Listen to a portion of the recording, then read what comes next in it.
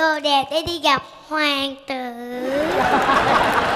Kỳ này, hoàng tử sẽ chọn mình Bởi vì mình quá đẹp xuất sắc.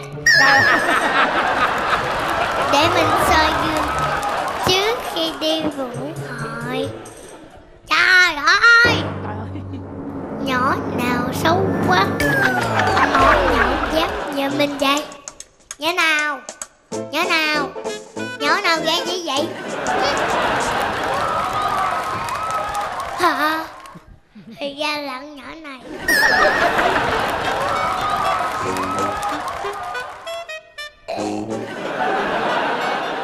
Không có phụ nữ xấu, Chỉ có phụ nữ không biết mình xấu. Được rồi. Đánh son cho đẹp. Đánh má hồng cho đẹp. Ồ, đi thời trang quá à. Đánh mắt cho đẹp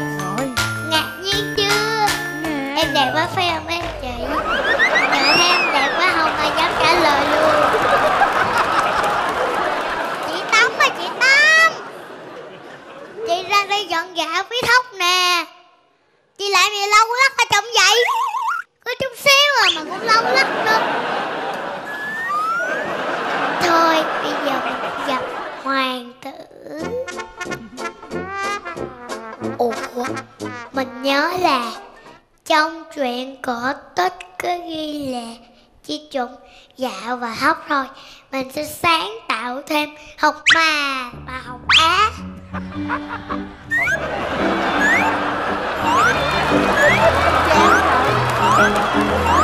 Đổ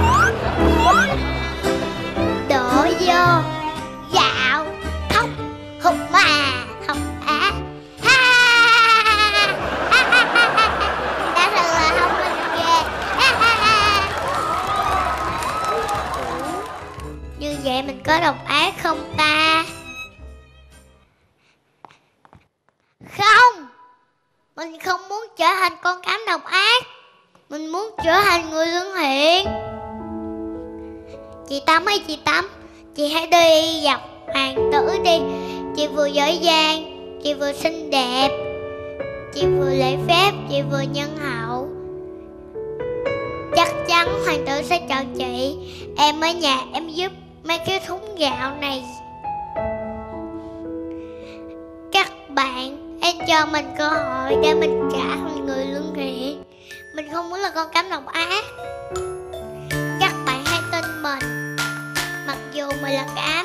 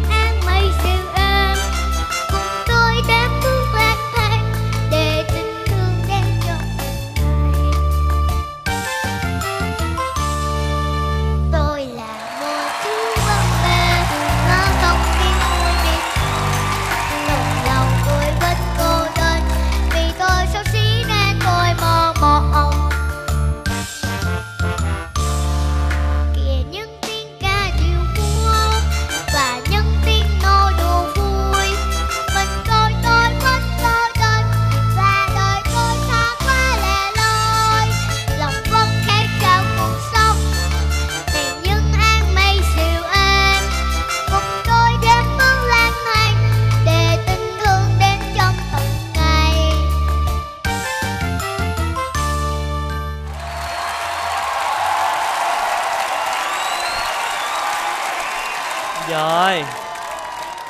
Búp bê ơi, đây